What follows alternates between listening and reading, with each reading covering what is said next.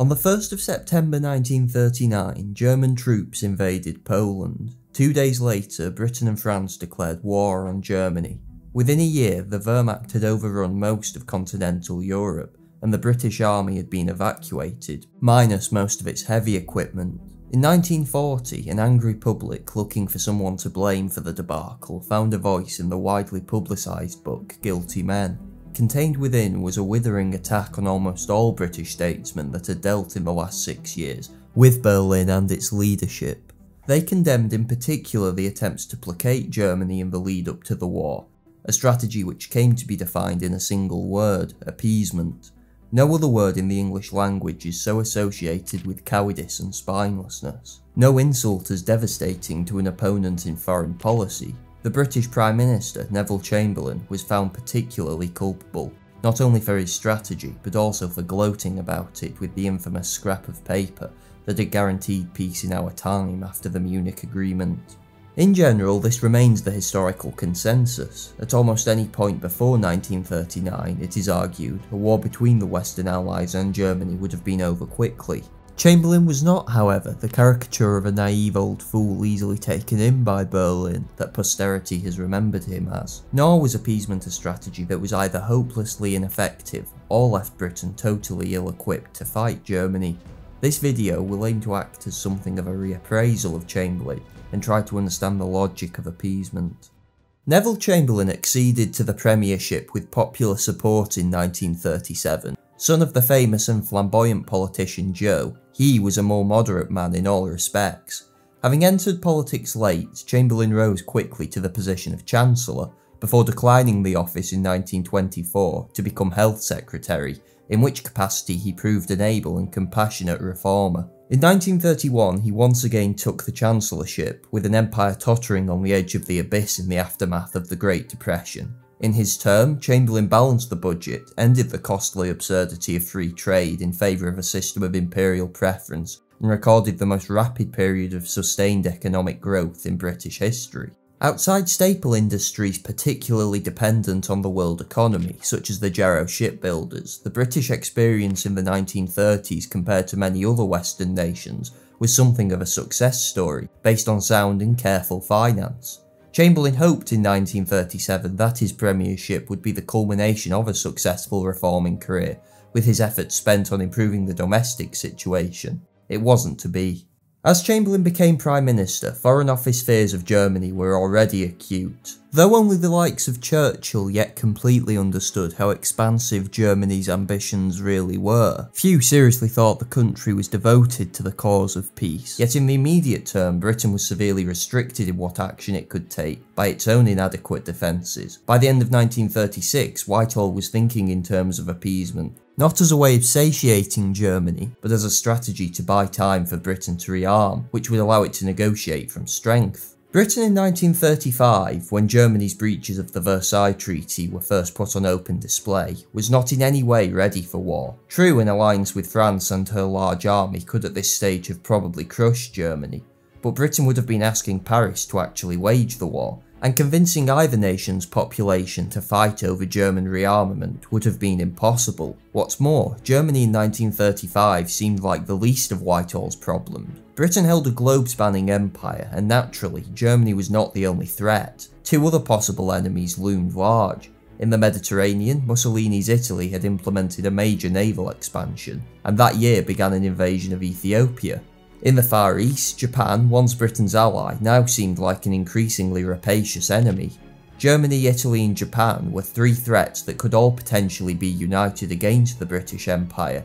The Chiefs of Staff believed a rearmed Britain could fight one, potentially two, but if all three combined together, the Empire would be doomed. This was the context within which all of Britain's policy towards Germany took place, Britain had to rebuild its military in a sustainable way and drive a wedge between these three potential allies. Compromises would then have to be made. This was also the backdrop to Germany's remilitarisation of the Rhineland in 1936. British politicians were not naive about the consequences of such a move on Germany's part. Baldwin, Chamberlain and Eden did all counsel against action and advocated restraining the French, yet this was not because they viewed German actions as legitimate, or because they believed concessions would moderate German behaviour, but because they believed that Britain was not yet ready for war with Germany. Of particular concern in 1936 was air power, which Germany was far ahead in. The Joint Planning Committee predicted Britain would suffer 150,000 casualties from bombing in the first week alone of the war. Bertrand Russell declared that after a single air raid, London will be one vast raving bedlam. The hospitals will be stormed, traffic will cease, the homeless will shriek for help. Then the enemy will dictate the terms. In this context, Chamberlain echoed that our own air forces were so weak today that we could not do Germany much harm, but that in two years' time we should be able to hit her fairly hard. Indeed, Chamberlain had already pushed through an expansive air rearmament programme as Chancellor, overriding Treasury objections in 1934. In hindsight, fears of German bombers were grossly overstated. The Luftwaffe inflicted 147,000 casualties from bombing in the entire Second World War, as opposed to the 150,000 predicted within a week. Even so, British statesmen could only listen to what they were being told, and Baldwin reflected the general consensus when he somewhat hysterically declared, the bomber will always get through. Britain's international position was likewise even more tenuous in 1936. Germany and Japan had signed the Anti-Comintern Pact, which, though not explicitly aimed at Britain, foreshadowed a possible future alliance between the two powers. The stance of Italy also remained unclear. An attempt at maintaining good relations by legitimising Mussolini's invasion of Abyssinia with the Hoare-Laval Pact had been scuttled after a public outcry. London could at this point have completely reversed course and blocked the Suez Canal to Italian use, thus throttling its war effort. Perhaps this might have stopped the dictators in their tracks, but it could just as easily have triggered an open conflict with Rome, again at a time when Germany and Japan remained hostile. Dithering on its Italian policy ended up eroding Britain's strategic position even further when Mussolini acceded to the Anti-Comintern Pact in 1937, opening the way for the German annexation of Austria that Italy had previously prevented. More crushingly, the American Congress passed the Neutrality Act, which forbade the sale of munitions to any war belligerent, whilst the Johnson Act had three years earlier blocked Britain's ability to raise loans there. If Britain chose to go to war, she could not wage it with American material and money. Although the US President Roosevelt was sympathetic to Britain, he was restricted by his own country's public opinion, and in general preferred platitudes to action. His offers of peace conferences were then as now grasped at by critics of appeasement as a potential way of enveloping the United States in a European settlement. But the reality was there was never any chance of Washington committing itself in such a way. If Britain and France were to fight Germany, they would be doing it on their own, and Britain alone was not an attractive prospect in 1937. Upon his accession to the premiership, Chamberlain was confronted with a depressing memorandum from the Chiefs of Staff, which lamented the poor state of the British armed forces and their inadequacy to meet all potential threats. It warned, we cannot foresee a time when our defence forces will be strong enough to safeguard our territory and vital interests against Germany, Italy and Japan simultaneously. We cannot exaggerate the importance from the point of view of imperial defence of any political or international action which could be taken to reduce the number of our potential enemies and to gain the support of potential allies. The strategy Chamberlain decided upon to counter this was two-pronged. Firstly, limited German grievances, territorial or otherwise, would be used as bait to try and rope Berlin back into a European settlement after which the friendship with Italy would likely fade, and Japan could be dealt with. At the same time, British rearmament would be sped up, allowing Whitehall to negotiate from a position of strength. Defence expenditure did, however, remain limited in 1937. Unlike Germany, which was shovelling an unsustainable amount of money into the Wehrmacht, largely on the basis that conquered territories would reimburse the Reich's treasury, Britain had no nations to plunder as a means of financing her military, Chamberlain, who had just set the British economy back in order, hoped to pay for rearmament in a sustainable way that would allow Britain's long-term economic strengths to overcome Germany's short-term armament splits. It was undoubtedly naive, and highlighted the fact Chamberlain never quite grasped just how expansive Berlin's aims were. Where Chamberlain isn't given enough credit, however, is his pragmatism. After the Anschluss of Austria was formalised in March 1938, Chamberlain reluctantly concluded that he could no longer privilege economic stability over rapid rearmament, telling the cabinet that the appropriate response to Germany's insatiable appetite was to accelerate the military build-up, regardless of its broader economic cost. The new budget still did not match what Germany was spending, but then Britain, which had the resources to finance rearmament at such a level almost indefinitely, would in the near future still overtake German military power, which would at some point wither as the holes in the Reich's kleptocratic economy were revealed. But this could only work so long as Britain did not end up in a war when Germany's short-term spending had given it the temporary advantage. The Anschluss of Austria in 1938 undoubtedly strengthened Berlin, and may even have staved off a serious economic crisis in Germany by way of providing badly needed foreign exchange, but Britain was in no position to oppose the action. Despite rearmament beginning to truly get underway in the aftermath, the Royal Air Force still largely consisted of biplanes, and the army remained underfunded in favour of naval and air spending. Had Britain bluffed and stumbled into a war it was unprepared for, public opinion would have been irreconcilably divided. Chamberlain was not blind as to what the annexation of Austria represented.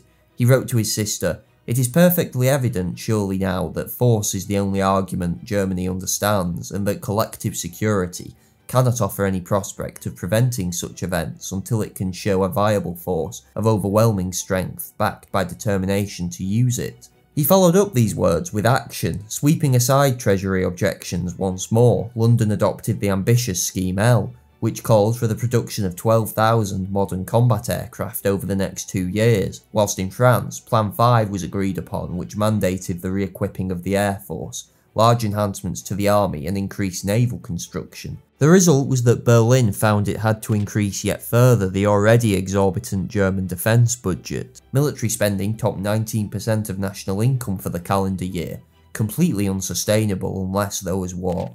Most criticisms of appeasement, however, do not mainly focus on this early period. Ultimately, the whole sordid business of Munich is where the problems with Chamberlain's strategy are said to lie. Following the Anschluss, Berlin began encouraging the large population of Sudeten Germans to protest the Czechoslovak government. On the 21st of May, a crisis in Czech-German relations led to a partial mobilisation of Czech forces, the crisis was overcome but had serious repercussions. Berlin was convinced that Germany had been humiliated and became determined to destroy the Czechs. By September 1938 he had pushed matters to the brink of war. Britain did not have any commitments to Czechoslovakia. France did, and hence were more belligerent on the issue, though in general French statesmen were more perceptive of the threat Germany posed anyway. They were unwilling, however, to intervene without British aid. Nonetheless, should Germany invade Czechoslovakia, there was every likelihood France would be sucked in, at which point Britain would realistically have to fight.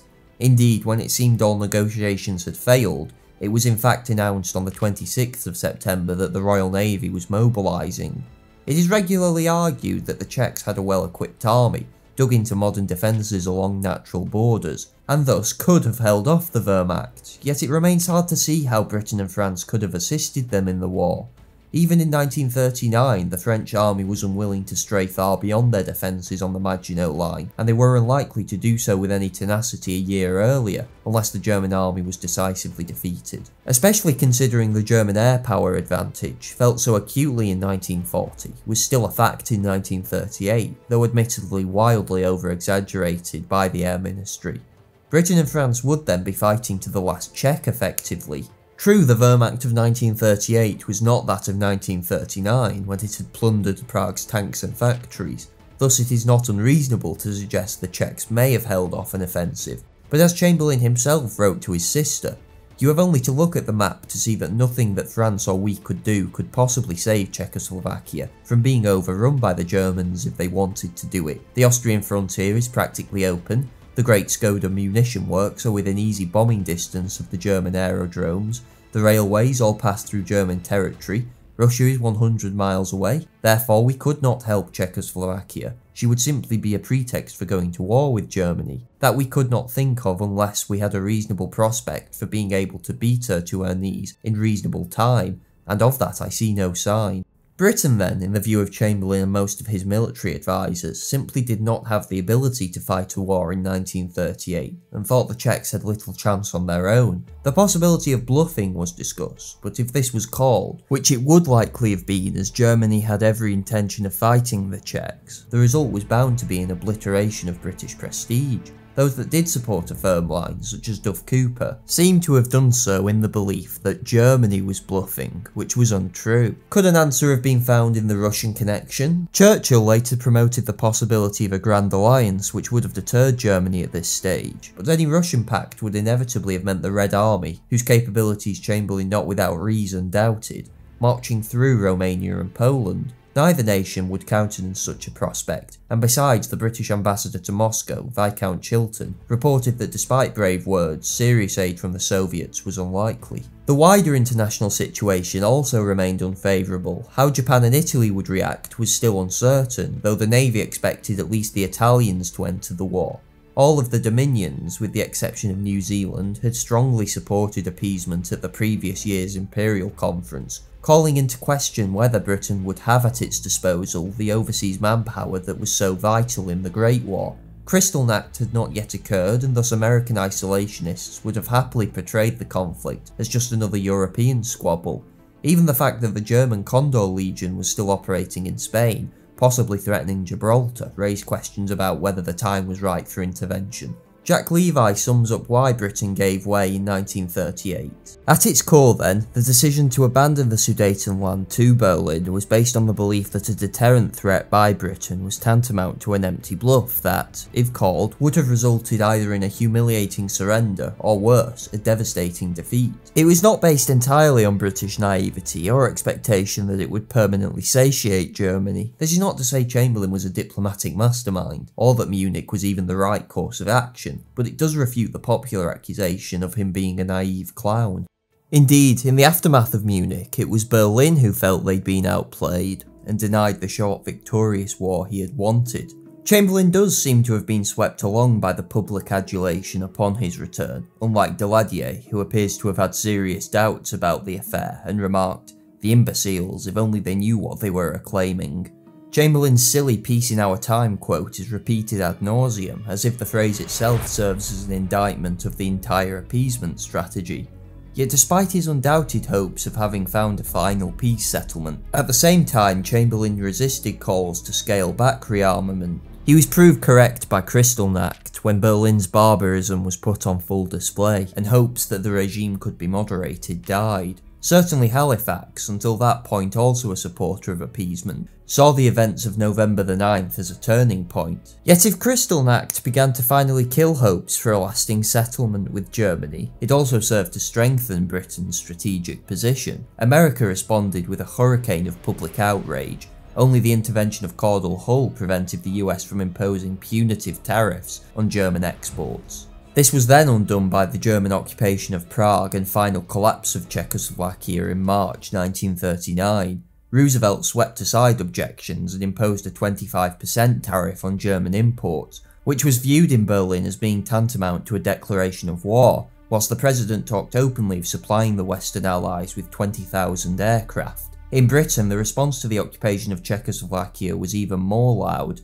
Public opinion was offended, and even Henderson, greatest of the appeasers, recognised it was the final shipwreck of my mission to Berlin. The Military Training Act was implemented in May, in effect a form of conscription that enabled Britain to put 10 fully motorised divisions in France the next year, instead of the two under-equipped ones available a year earlier. By the summer of 1939, almost all biplanes had been replaced with mainly Hawker Hurricanes, while Spitfires also began to arrive in large quantities that would not have been available a year earlier. What's more, the international situation was also more firmly in the Allies' favour than in 1938. Britain and France extended territorial guarantees to much of Eastern Europe. Berlin had hoped its military build-up would see these states fall into Germany's sphere by mere threat alone. Yet throughout the summer of 1939, Turkey, Greece, Yugoslavia and even Bulgaria all moved towards the Allied camp. Even Romania, whom Berlin considered a top priority for its oil production, proved a much harder negotiator than expected following a Western guarantee withholding oil for the first time in June 1939, until Berlin agreed to a consignment of late model Messerschmitts. The inescapable reality for the Germans was that in the aftermath of Prague, Britain and France had put aside all differences, and the US seemed increasingly hostile. They could not even count on military superiority for much longer. The Wehrmacht's chief economist, Thomas, calculated that whereas Germany planned to devote 23% of its national income to the military in 1939, the figure for France was 17% and for Britain only 12. Yet combined, they would soon outclass the Wehrmacht, and whereas the Western Allies could keep up this level of spending for years to come, Germany was rapidly reaching the end of its economic road, particularly a dearth of foreign exchange that exacerbated a raw material bottleneck. Indeed, as of spring 1939, British aircraft production matched that of the Reich. The walls were closing in on Germany. The only way Berlin could possibly balance the odds now was to lock Japan and Italy into a firm alliance. Yet even here Germany was in a worse position than it had been a year earlier. On the 31st of May, the Italians informed Berlin that Despite their recent commitment to the Axis, they would not be ready for war before 1943, whilst Japan was decisively alienated by Germany's new alliance. The Molotov-Ribbentrop Pact was undoubtedly a ruthless bit of realpolitik that allowed the Germans to draw on Russian resources and avert the worst of the British naval blockade, in 1940, the Soviet Union would supply Germany with 65% of its chrome ore needs, 55% of its manganese, 40% of its nickel imports, and 34% of its imported oil. The conclusion of this treaty has saved us, the Quartermaster General of the German Army said. Had then Chamberlain dithered too long in coming to an agreement with the Soviets? The answer is perhaps. Chamberlain's anti-communism was undoubtedly an issue, but he had not actually blocked any of the talks with Moscow. The reality was that the complications with the Russian alliance remained numerous. Poland would still not have the Red Army on its soil for obvious reasons. The price for any treaty seemed to be the Baltic states, and Stalin was hardly the most reliable of allies. Indeed, even before the pact became official, he had been hinting towards his wish for a war between capitalism and fascism, which would see both sides exhaust themselves. The Molotov-Ribbentrop Pact was a blow that seems not to have quite registered in Whitehall just how much it scuppered a lot of the planned naval blockade's effectiveness. Yet it couldn't make up for the inherently inferior strategic position Germany found itself in in almost every regard as September approached.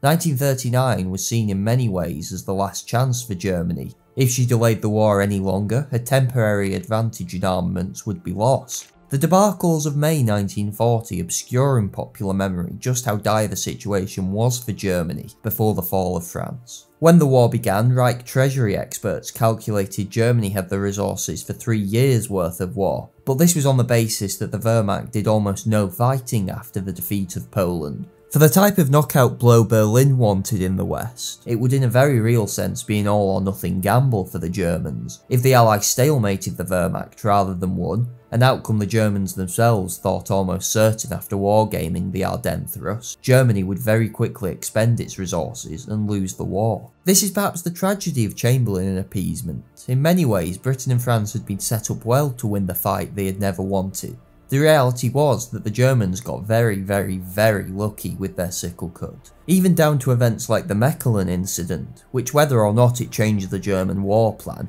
it did mean the French shifted reserves meant to be covering Sedan to the armies striking into the Low Countries, and yet the Allies did still ultimately lose in 1940. Owing to the fact they'd agreed to fight Germany by issuing a guarantee to Poland just before the window of opportunity closed for good on Berlin and the Western rearmament schemes pulled ahead. Is there then an alternate criticism of appeasement to be made? Should the real complaint be not that Chamberlain pursued this strategy at all, but that he failed to do so to its logical conclusion? Surely that logical end was when Britain and France decisively overtook Germany in terms of armament. Their abilities were roughly even in 1940. Had they postponed the war until 1941 or 1942, probably by not issuing the guarantees to Eastern nations, their numerical superiority would have been so overwhelming they would have won decisively. Indeed, Poland, which had also taken part in the dismemberment of Czechoslovakia, and was itself ruled by an authoritarian government, was an odd choice to begin a war over, but the other side of the coin was, as British and French policymakers well knew, one of strategy and prestige. Germany had humiliated the Western Allies at Prague in March. Without the guarantees then handed out in mid 1939, most of Eastern Europe would have fallen into the German sphere once the aftershock of the Molotov-Ribbentrop Pact was felt. The Poles, without a guarantee that made them wrongly assume the West was going to assist militarily, would probably have settled over Danzig. The free city Berlin had set its sights on, and been pushed into something akin to vassal status, as it seems Berlin might have originally planned. Yet it's hard to see how this would have delayed a war in the West. Munich, where in spite of popular memory, Britain had been reluctantly prepared to go to war, and Berlin forced to back down, seems to have convinced them that Germany would have to defeat Britain and France before they could turn on the Soviets. A German war of aggression would probably have been likely before the Allies decisively overcame the Wehrmacht's military lead. Is the more traditional criticism of appeasement then correct? Should the Allies have refused any negotiations over the Sudetenland in 1938 and fought instead? The answer is probably yes. The French army's command structure would not have been in any better condition, and aid from Britain would have been even more limited than it was a year later. But without Czech tanks and designs, the Germans wouldn't have been able to undertake the rapid campaign that got inside the French control loop and caused their rapid defeat. Ultimately, these two alternatives are counterfactuals, but what we do know is that Chamberlain had not made an Allied defeat inevitable in 1940, nor was appeasement an inherently irrational strategy. Even if Britain had won the Second World War quickly, the expense would still have been disastrous for an empire that was, to quote John Charmley, like the Habsburg monarchy of Metternich's day, in that Britain could only remain a great power so long as it avoided war. Yet Chamberlain was wrong in the end. His blend of appeasement and rearmament had never been about buying time, as some have argued, for his policy was always predicated on the belief Germany was ultimately appeasable. And it is his failure to grasp that she wasn't, even in 1939, that will always dog his legacy.